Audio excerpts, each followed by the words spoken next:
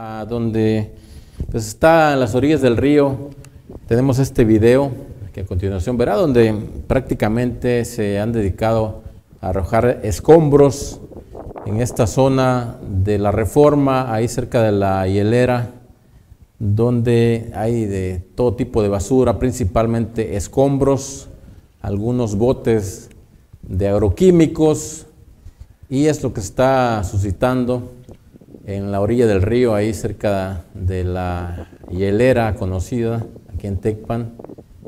Y pues es el llamado que nos hicieron algunos vecinos de la calle Reforma, donde usted puede ver las imágenes, eh, está pues principalmente lleno de escombros de algunas construcciones.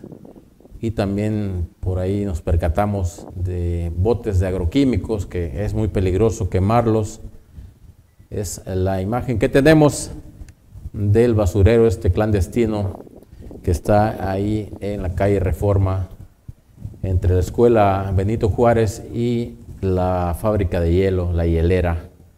Es el reporte que le tenemos que nos hicieron llegar. Bien.